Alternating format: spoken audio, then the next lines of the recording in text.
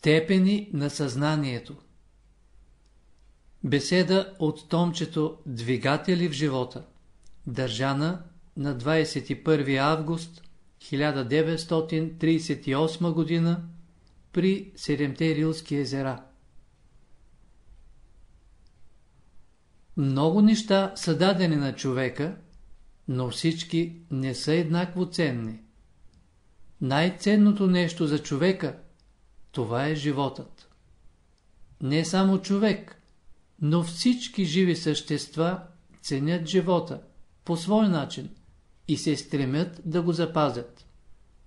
Изгубили живота си, човек изгубва всичко и става нещастен.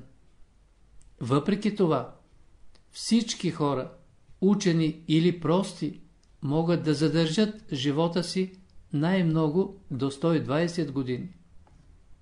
Дойде ли до тия години, с човека става нещо особено и въпреки желанието си, той изгубва своя живот. Къде отива животът му? И той не знае. Животът на човека се топи като снежна топка. Докато мисли, че си е осигурил и го държи в ръката си, сам не забелязва как постепенно се топи и изчезва някъде в пространството. Двама братя живели добре помежду си, но единият от тях решил да се посвети в служене на Бога. За тази цел той отишъл на една планина да прекара в пост и молитва, в пълно уединение, далеч от греха и съблазните. Така прекарал той цели 20 години в чистота и святост. Един ден той решил да слезе в града при брат си, който останал да работи между хората, да се учи от тях. За да изкарва прехраната си, той станал обощар. Цели 20 години той правил обуща на хората и станал виден обощар. При него дохождали най-знатните хора от града да си поръчат обуща. Като слязал в града да види брата си, светията взел в ръката си една топка сняг, да му покаже, че снегът не се топи от топлината му. С това той искал да подчертае своята чистота и святост. Както се разговаряли, магазина на брата му влязла една красива, знатна мома да си поръча обуща. Младата мома събула обувката си, за да й вземе обущарът мярка. Като видял крака на младата мома, красиво изваян, светията се загледал в него и започнал да си мисли, че и в света, дето брат му живее, има красиви неща, които заслужават внимание унесен в красивия крак и в размишленията, на които той го навел, светията не забелязал, че снегът в ръката му започнал да се топи. Братко, снегът ти се топи, казал обощарят и продължил работата си. Коя е причината за топението на снега в ръката на светията? Когато българинът иска да произведе огън, той взима парче кремък и го удря с парче стомана. От това удрене се образува искра, огън, който запалва праханта. Следователно, като наблюдавал крака на младата мома и размишлявал върху красивите неща в света, в сърцето на светията се образувал огън, който стопил снега в ръката му. Ще кажете, че светията се е съблазнил.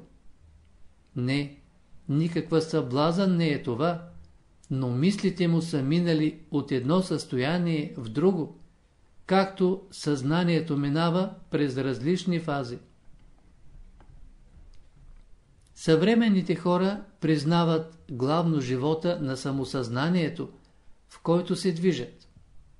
Обаче в живота на съзнанието различаваме четири степени. Подсъзнание, съзнание, самосъзнание и свръхсъзнание.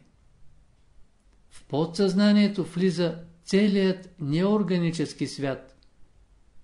В съзнанието целият органически свят, от най-малките до най-големите същества, растения и животни. В самосъзнанието влиза човекът, а в свръхсъзнанието – ангелите. Ако влезе в подсъзнанието, човек ще се натъкне на неорганическия свят, в който съществува голямо противоречие. Щом влезе в съзнанието, в него се заражда голяма борба, след която той започва да работи. Щом се качи в самосъзнанието си, той започва да се измъчва, защо нещата не стават както трябва, защо хората не мислят и не чувстват правилно. Най-после, като влезе в свръхсъзнанието, човек попада в блаженството на живота, към който всички хора се стремят. Къде се намират местата на тия съзнания? За определене местата на четирите вида съзнание можем да дадем приблизителна, а не абсолютна диспозиция.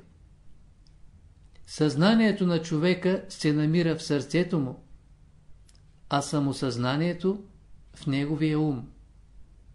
Значи в сърцето на човека живеят растенията и животните, в ума – хората, а в подсъзнанието му – неорганизираните същества. Страшно е да живеете между неорганизирани същества. Човешкият организъм е съставен приблизително от 30 милиарда клетки, разпределени в човешките удове, в мозъка, в дробовете, в стомаха, в сърцето, в очите, в ушите, в устата, в мускулите, в костите, в космете и така нататък. Всички тия клетки се различават помежду си по степен на развитие и строеж. За да образуват човешкото тяло, те се подчиняват на една велика, мощна сила, която ги управлява и държи в единство. Сами по себе си те са неорганизирани и ако не съществуваше тази сила, никакъв човек не би съществувал. Къде е човекът? Човек се намира в онази първична клетка, наречена монада, която управлява всички останали клетки и им дава различни заповеди и направления. Що се отнася до човека, всички хора имат смътна представа. Те казват, че човек е същество, което се ражда и умира. На пръв поглед те са прави, но какво означава раждането и какво смъртта? Всяко нещо, което умира, се отдалечава от центъра. Значи, то върви към периферията. Всяко нещо, което се ражда, върви от периферията към центъра. Тези процеси се превеждат с думите минаване от смърт в живот и от живот в смърт. Хората не желаят смъртта, защото губят уния условия, с които са привикнали. Представете си, че някой човек е живял 30 години в затвор. Колкото и да е тежък животът му в затвора, той е свикнал с тамошните условия и мисли, че вън от затвора не може да се живее. Обаче дохожда ден, когато трябва да напусне затвора. Предлагат му да излезе, но той не се решава. Страхува се да отиде в широкия свят. Като не иска доброволно да излезе от затвора, насила ще го заставят. Като влезе в широкия свят и се окупити, човек вижда, че вън от затвора животът е по-красив и смислен от този в затвора.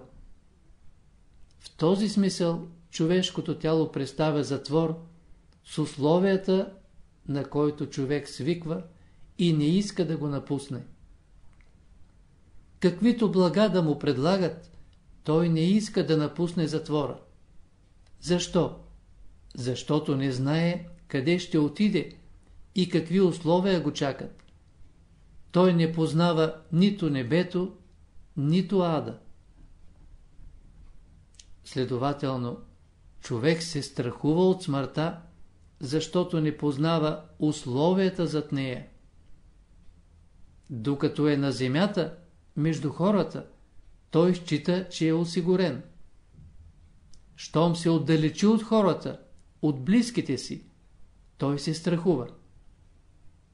Докато ножът, сабята висят на тялото на военния, той е осигурен, има на какво да разчита.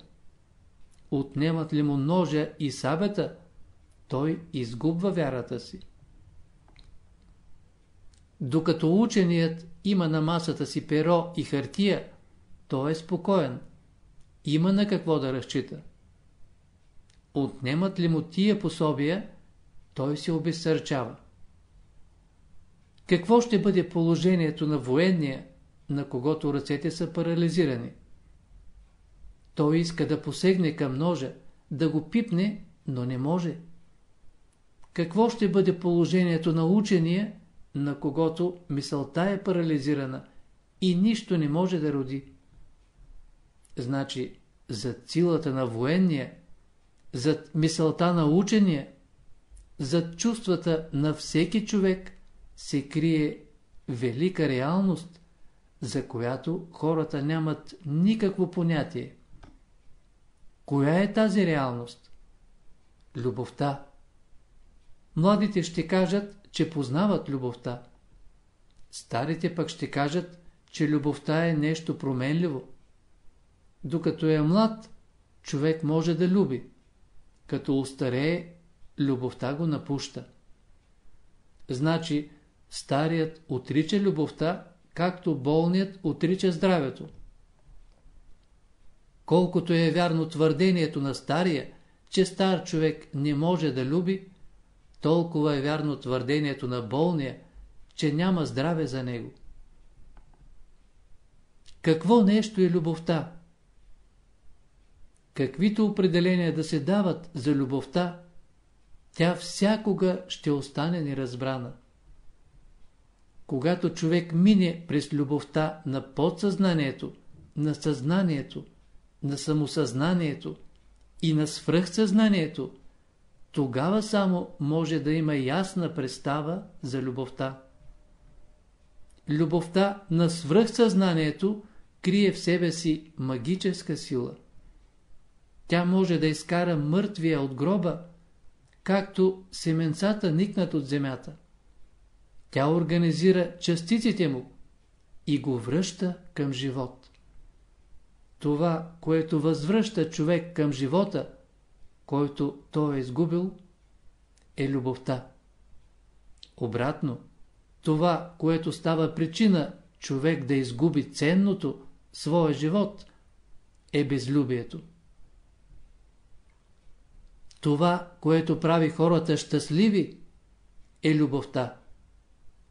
Това, което ги прави нещастни, е безлюбието. Коя е причината, която кара хората да живеят? Любовта. Коя е причината, която ги заставя да умират? Безлюбието. Значи, един трябва да живее, а друг да умре. Защо трябва да страда и да умира човек? Законът е такъв. При сегашните условия на живота не може другояче. Ние искаме да живеем братски. Знаете ли какво изиска братският живот в широк смисъл на думата?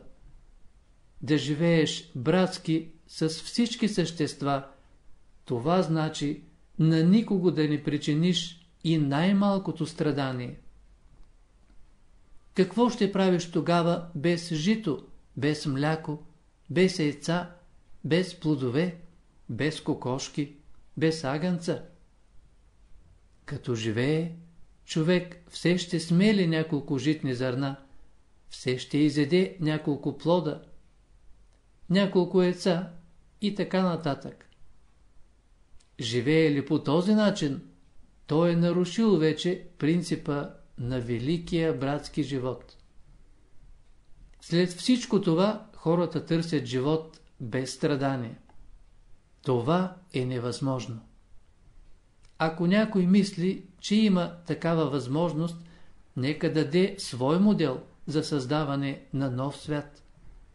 Само онзи може да не страда, който свързва всички неща в едно цяло. Бог може да направи това. Той живее във всички форми, които съществуват в природата. Той се жертва заради нас да живеем и да го познаем. За това е казано в писанието Аз съм живият хляб, слязал от небето. Който ме яде, той ще има живот в себе си. На Бога е приятно да го ядат, да се жертва. На хората обаче не е приятно да се жертват. Това е положителната, опитна философия на живота, между фактите, на която съществува пълна последователност.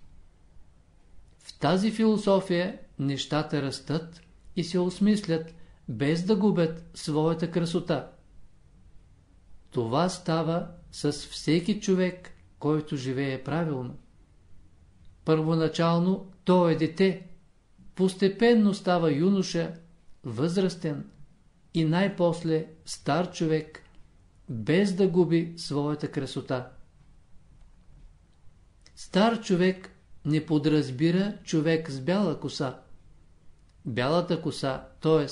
белият цвят, е символ на щедрост, на даване. Значи, старият човек е щедър, всичко дава. От стария човек изтича божествена енергия. Млад човек не е само този, който има черна коса.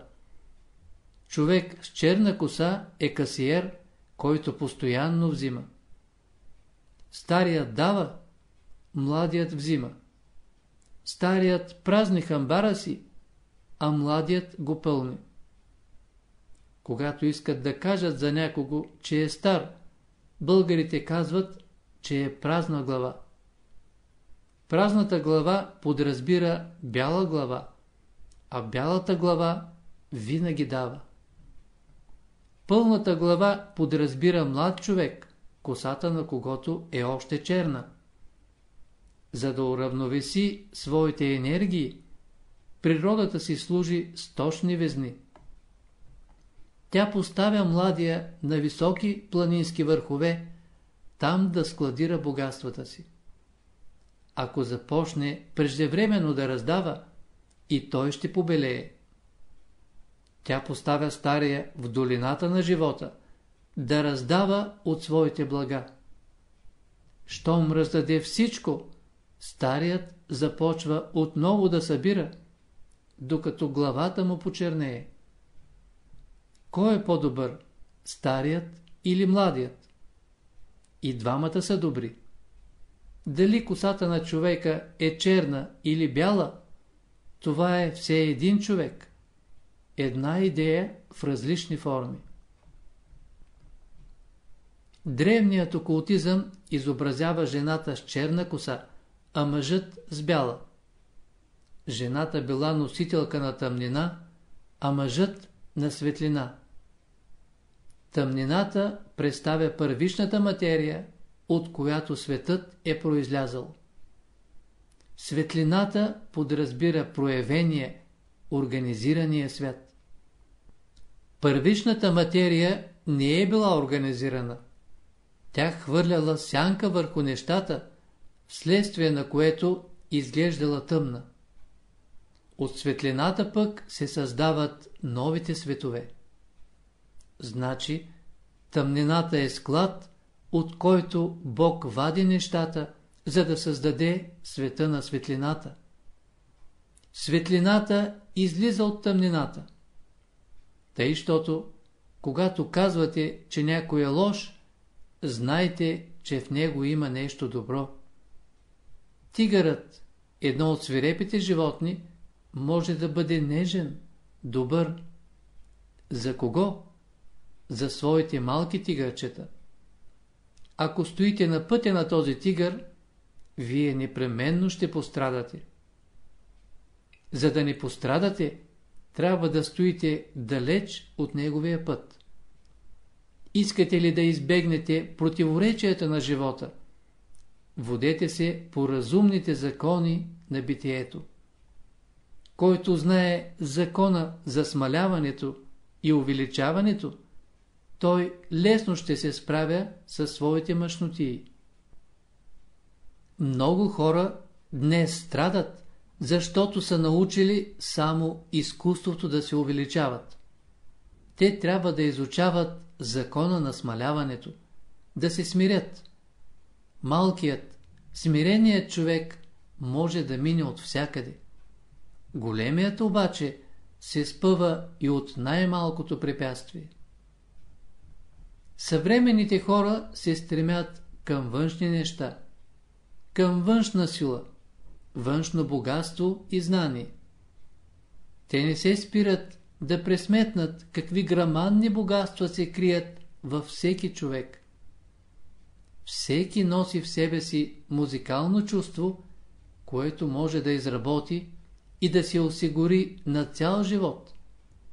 Човек може да стане гениален музикант и певец.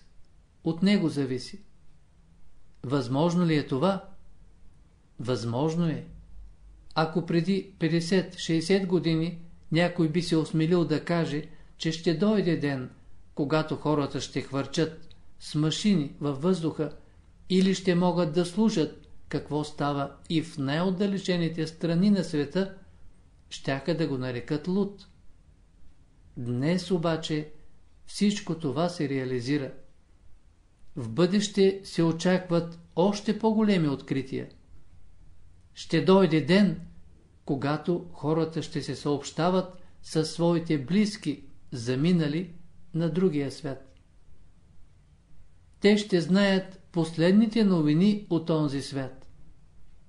За сега съобщенията с онзи свят не са усъвършенствани, вследствие на което тамошните жители мълчат. Христос казва Търсете първо Царството Божие. Превеждам този стих. Търсете първо онова, което е ценно за вас. Живота. Христос дава правила и закони, по които може да се живее, т.е. да се запази живота. Човек едновременно носи в себе си и тъмнина, и светлина, вследствие на което неизбежно е изложен и на страдания, и на радости. Страданията произлизат от неорганизираната материя на тъмнината, а радостите от организираната материя на светлината, която твори и създава нещата. Когато любовта дойде, тя ще примири тъмнината със светлината. С други думи казано, животът ще примири човек със страданията. Когато човек се убеди, че страданието е обвивка на радостта, невежеството, на знанието, безсилието, на силата, неговият живот ще се изпълни с радост и веселие. Влезе ли човек в любовта на свръхсъзнанието, щастието ще го последва. Като не разбират това, хората търсят Бога вън от себе си. Не, Бог е в любовта. Кой дава живот на човека? Кой го утешава? Кой освобождава народите от робството, в което се намират? Следователно, познайте Бога, познайте любовта във всички форми, в които се проявява. Търсете го в силния и в слабия, в учения и в простия, в богатия и в бедния, във всяко растение и животно. Търсете го в музиката, в поезията, в изкуството, в науката. И най-слабите същества са силни, щом Бог присъства в тях. Погледнете мъховете, които растат върху канарите. С години те живеят по камъните, извличат някаква храна от тях и по този начин ги облагородяват. Като ги наблюдавате, вие трябва да взимате поука от тях. Те не чакат да дойде щастието им отвън някъде. Те работят, прилагат силите, които са вложени в тях и сами се осигуряват. Защо? Живот имат в себе си. Най-ценното в света. Търсете първо Царството Божие. Търсете Божията любов, мъдрост и истина. Любовта ще внесе във вас ценната топлина, мъдростта, ценното знание и светлина, истината, ценната свобода, необходими условия за живота на земята.